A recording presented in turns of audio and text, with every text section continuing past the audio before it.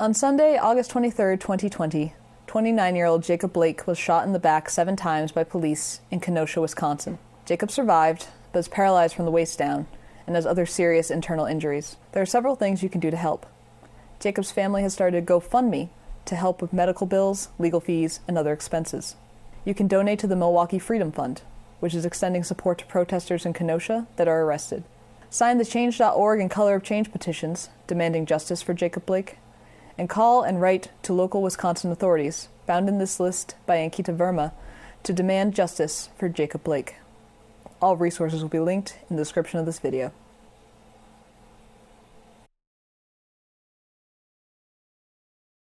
Hey, what's up? I'm Liz, this Blitz City DIY, and today I wanted to share a, a very helpful uh, thing you can do for Raspberry Pi that I saw uh, on a blog post. MagPi magazine every Monday will ask, "Oh, what'd you do for Raspberry Pi over the weekend?" And people re- reply. Uh, and I saw back in May that someone replied that they got their Raspberry Pi uh, Zero working as a USB webcam. To me, that's pretty huge because to have a plug and play DIY webcam, pretty great. I've seen other uh, ways you can do it over network, but that's not the most stable, especially if your if your connection's already like struggling. Uh, so I think a lot of us are using uh, webcams either socially or for work or for school right now, uh, and also webcams are hard to find. So I put it away for a rainy day. Uh, that rainy day has come, and so uh, I investigate. So the original blog post is by David Hunt on his WordPress blog. He has a lot of really great resources on there in general, but especially this blog post uh, is just top notch. So I followed that blog post, and as you can see right here, it's Pi Zero running as a webcam, and you can see on my screen here, I just have a Zoom meeting running just by myself with the camera hooked up, and it it's working and it looks good. It's using the the HQ cam.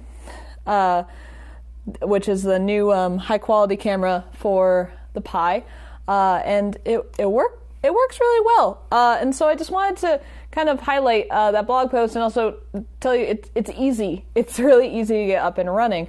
Uh, so if you're you know still in school and you want a webcam, maybe your laptop one, maybe your laptop doesn't come with a webcam or maybe your laptop webcam is eh. Um, or if you're like me and you run a, desktop and so you don't have a built-in webcam anywhere, um, this is this is definitely an option. This blog post uh, it walks you through everything you need to do and and what's happening. And the reason why it works with a Pi Zero is that the Pi Zero's USB uh, it's not on a hub it's instead by itself. And actually, the way that the firmware works, it, it, can be basically changed so that it becomes a USB device. So basically, when you follow the steps of the blog post, all you're doing is running some scripts. Uh, and loading in some firmware so that when you boot up the Pi, it's basically putting uh, an overlay on it so that it can boot in as a webcam. That's all you're doing. You're basically just almost putting like a mask over the Pi to say, hey, this is actually a webcam when it plugs in there, uh, which I think is really cool. and it, it works. Now, um, I run Windows machines, uh, and I have noticed that when you first plug it in, first of all, the, the zero has to boot for a second, so it's not going to come up right away. Uh, but then, after it boots up, uh, I will always get an error that says there's a malfunction with this USB device, yada yada. But then, like right after that, I hear the USB like connection sound and it shows up.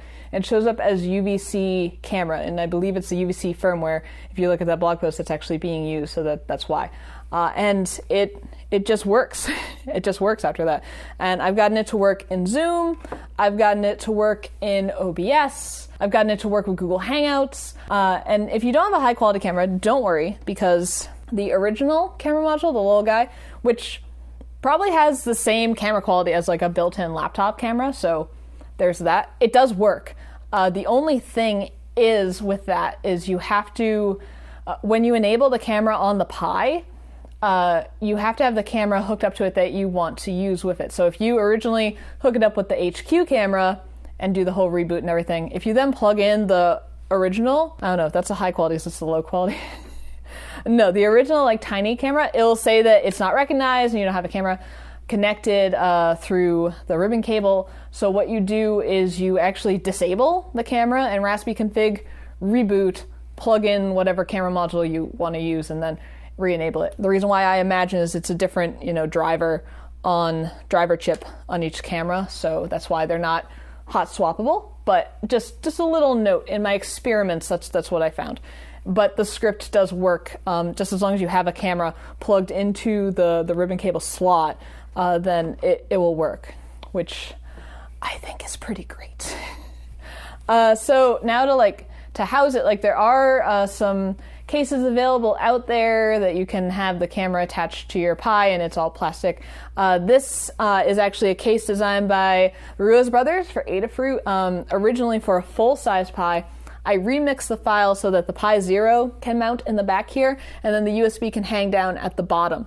So uh, you can do that, and then you can use like a tripod mount uh, because the HQ camera has that tripod mount there, uh, and then you can just put a tripod like on your desk or over your monitor or next to your laptop or whatever you're doing uh, so that you can be seen on camera. Uh, and I'll release those files. There is a back. Um, I just I need to do a little bit of, of tweaking uh, before uh, it can it can snap in. But when that's all set, I'll, I'll release it as a remix to that original file. But the directions on the blog are super straightforward. So if you have just a basic Linux experience, you'll be able to do it.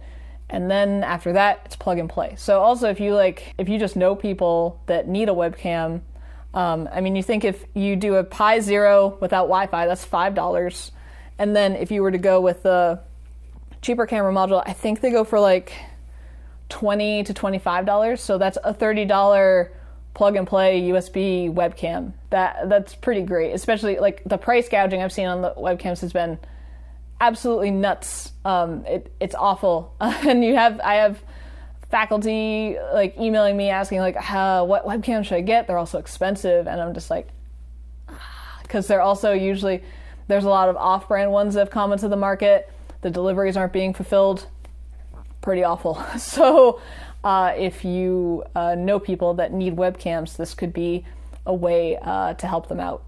You can still access the Raspbian files uh, OS with this. Uh, you can either use uh, PuTTY or other way to access the serial monitor, and you can dial in that way, or and and open up terminal. And the other way, if you want to actually get the GUI up with the HDMI output, is uh, there's two text files that you edit um, when you're doing the full setup, and you just take out those two lines. They're just basically putting an overlay on the screen so that you're not getting um, a video output.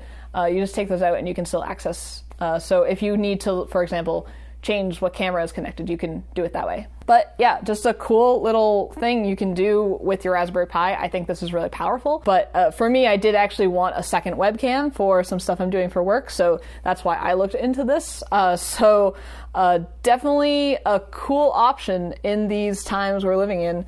Uh, and it's I'm really happy with it. Uh, so that's gonna do it for this video. Just a fun Raspberry Pi thing. I think it's really useful. Uh, definitely check out the link to David Hunt's blog uh, down in the description. Uh, follow the steps, and you will have a USB webcam. Cool. Uh, but thank you for watching. Uh, consider subscribing more content like this. Uh, and until next time, this has been Blitz City DIY. Blitz City Inception. Ooh.